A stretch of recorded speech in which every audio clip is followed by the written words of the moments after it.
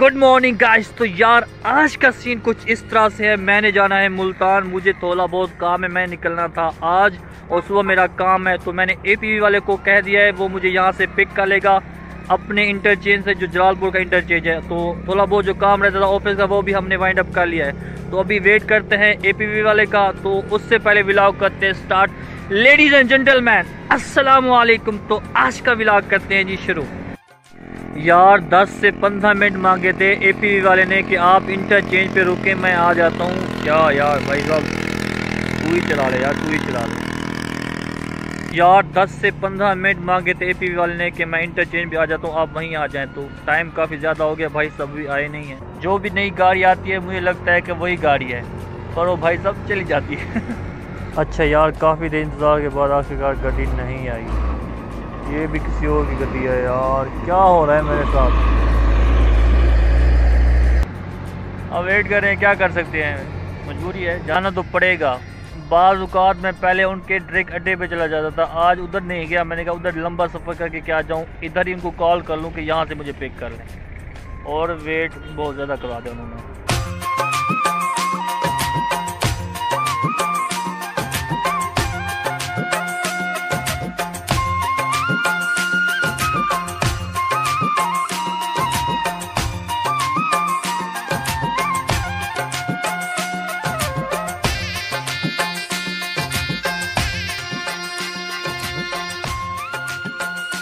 काफ़ी देर इंतज़ार करने के बाद मैंने आखिरकार उनको कॉल की है तो उन्होंने कहा है कि हमारी गाड़ी हो गई ख़राब।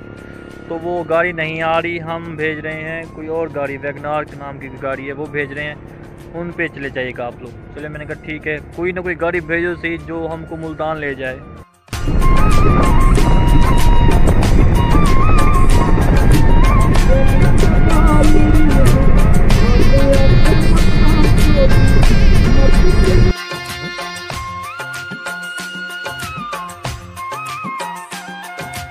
आखिरकार गाड़ी वाला भाई साहब आ गए थे और अब हम पहुँच चुके हैं मुल्तान।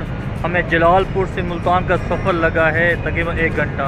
जब से सी पैक बना है ना, जब से सी पैक बना है ना तो टाइम हमें शार्ट लगता है। मतलब कम से कम टाइम लगता है जलालपुर से मुल्तान आने में। एक घंटा लगता है। अगर सी पैक नहीं था, तब हमें टाइम लगता था दो घंटे। मतलब जलालपुर से सुजाबाद सुजाबाद फिर Multan.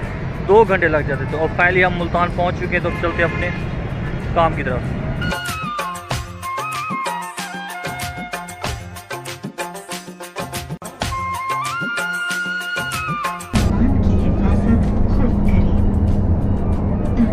Catarse, Kadir Catarse, Rusya.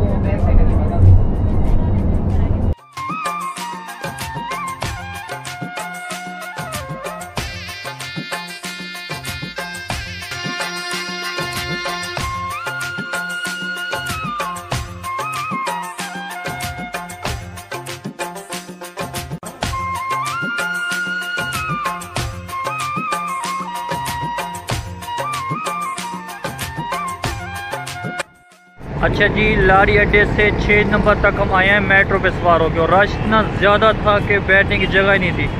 सारा रास्ता हम खड़े होके आए हैं। तो अभी पहुँच हैं छः नंबर तो हम चलते हैं। जहाँ हमें थोड़ा बहुत काम था, वहीं चलते हैं। फिर सुबह हमने जाना है हाउस यूनिवर्सिटी में। वहाँ हमें वहाँ हमें भी थोड़ा बहुत काम है। तो फिर चलते हैं। जहाँ हमने रात भी करना है और वहाँ जाके बैठना भी थोड़ा बहुत दोस्त है मुल्तान का, वो भी डेवलपर है। उससे हमने प्रोजेक्ट की डिस्कशन करनी है। और साथ में प्रोजेक्ट पे कैसे कैसे काम करना है। वो भी आपने डिस्कस करना है तो अभी चल रहा हूँ उनके पास तो वहीं जाके मिलते हैं।